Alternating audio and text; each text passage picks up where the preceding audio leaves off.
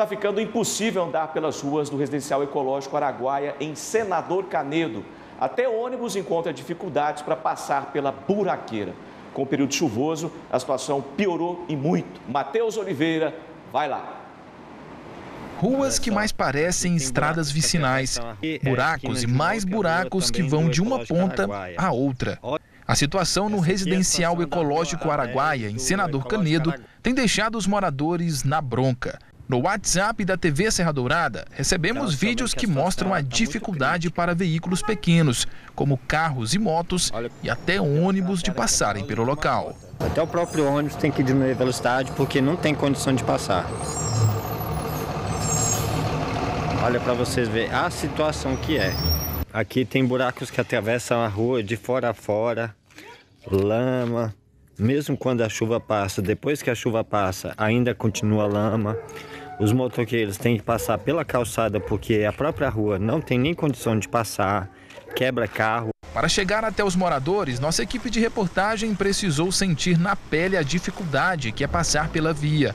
A cada buraco, parece que o carro vai atolar. São várias ruas que estão desse jeito. Isso aqui já está uma profundidade que não tem nem condição mesmo de se passar.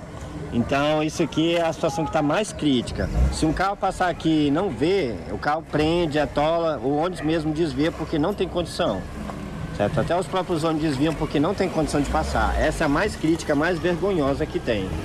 Um dos trechos mais críticos aqui do bairro é na rua A10. É aquela velha história. Na época da seca, é muita poeira. E na época da chuva, vira esse barro todo aqui. Inclusive, essa rua é linha de ônibus. O ônibus demora alguns minutos só para poder passar por aqui. Inclusive, quem mandou os vídeos para a gente, quem fez a denúncia, chamou a reportagem da TV Serra Dourada, foi o Ruber Paulo.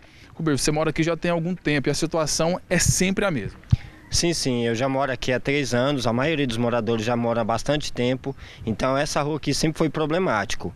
A construção das casas, com que a água joga para cá, a água não tem como escorrer, fica passada, fica parada aqui na frente das casas. Até os moradores têm que fazer um monte de improviso para poder sair de casa, porque uma condição dessas não dá. Daniel também tem dificuldade para sair de casa. Ele mora bem na frente de uma poça de lama. Tem que tomar cuidado para não, não atolar o carro aí, não cair no buraco, não estragar o carro.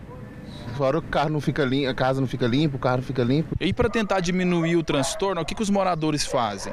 Colocam telhas, pedras para ver se consegue até entrar com o carro, passar com o carro. Aquele ali colocou brita também.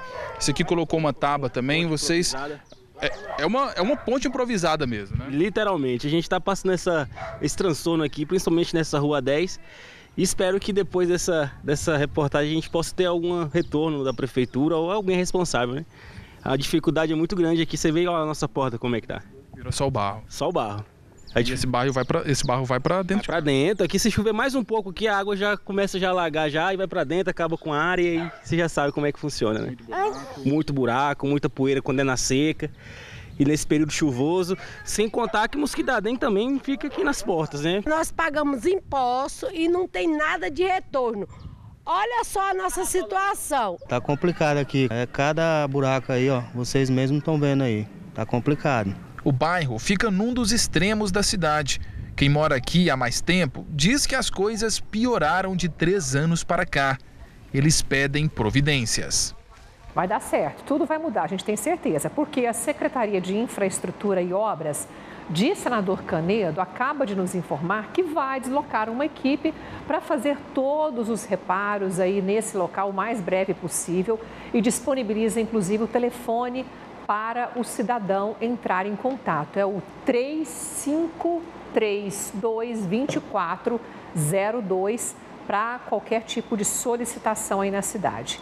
A secretaria ressalta também que, por causa da chuva, a demanda de tapa-buracos aumentou e muito. Por isso, cresceu também o número de equipes diurnas e também uma equipe noturna para contornar todos esses problemas. Quando respondem que é em breve, a gente quer acreditar que seja o mais rápido possível, mesmo porque vamos voltar nesse local para mostrar a solução, estamos certos disso.